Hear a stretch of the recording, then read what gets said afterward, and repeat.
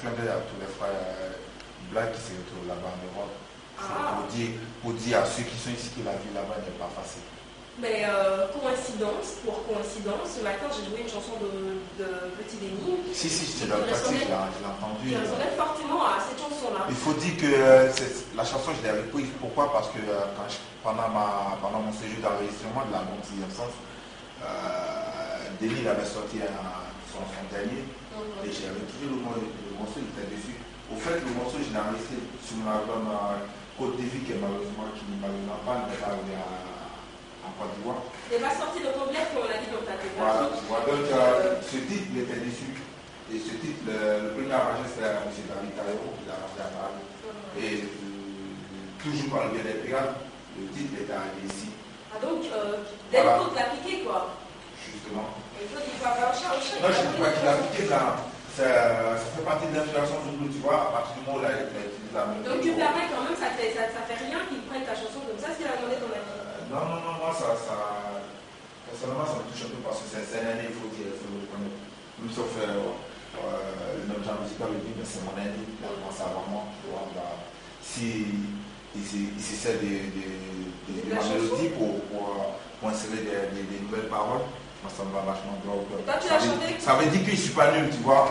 Voilà. Non, mais, mais non, on a jamais dit que tu loin de là, mais loin, on ne pourrait pas euh, éventuellement parler de l'unité avec toi. Mais ce qui, est, ce qui est un peu étonnant quand même, c'est que la chanson, tu l'as dédiée à tous les frères qui sont du côté de l'Hexagone, alors que lui, il a chanté en hommage à tous, à tous ceux qui sont disparus en fait. Voilà, en plus, en euh, comme, comme je disais, c'est. s'il avait- il- il avait travesti- travesti la chanson. J'ai de le Moi, ben, si à partir du moment où les paroles ne sont pas les mêmes, tu vois, si- s'il a fait pour rendre hommage à, à, à tous nos disparus, c'est c'est bon, bon. Pour toi, c'est plutôt un honneur, Moi, c'est un honneur, tu c'est vois. plutôt une fierté. Voilà. D'accord, Mais- Au, au fait, j'ai- je l'ai reprise, comme je disais, je l'ai reprise parce que il y a plein de mélomanes qui ont, qui ont, qui ont pensé que le titre, euh, c'est Denis qui le chantait.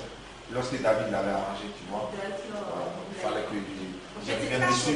Ouais, il fallait que je revienne dessus la pour, voilà, pour l'enlever ça dans la tête que euh, le, compositeur de ce, de ce titre, euh, c'est bel et bien moi. D'accord. Alors depuis on en parle, depuis euh, près de 30 minutes on en parle et on ne sait toujours pas pourquoi tu as, un- tu as baptisé ce album la sixième sens. C'est quoi ton sixième sens?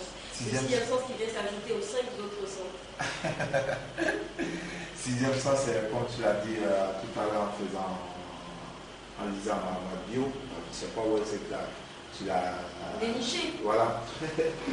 où est-ce que tu, tu l'as pêché cette bio?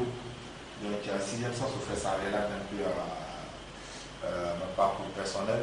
Et euh, sixième sens qui parle aussi de- des événements que nous avons vécu en Côte d'Ivoire. Et il faut dire que tout un être humain a un sixième sens en lui. Donc, euh, il ne faut pas le sous-estimer, le sixième sens. Et pour toi ton sixième sens c'est quoi? Moi, mon sixième sens, c'est que ce que il y, y a des trucs que je vis dans, dans mon son, il y a des, il y a des, il y a des trucs qui m'arrivent, des imaginations, et dans le futur que je découvre, tu vois. Quelque chose, c'est un peu comme des prémonitions. Voilà, c'est comme, si, comme si j'étais si un médium, tu vois. Il y, a, tout- il y a des trucs que je vois et puis qui se réalisent du jour au lendemain. Tu fais des rêves euh, sur quelque chose, par exemple tu rêves quand tu as remis euh, 200 000, tu te réveilles et puis bah, effectivement dans ta miracle tu reçois les 200 000 de la même personne. Même si si c'était pas de la même personne, là, je les reçois.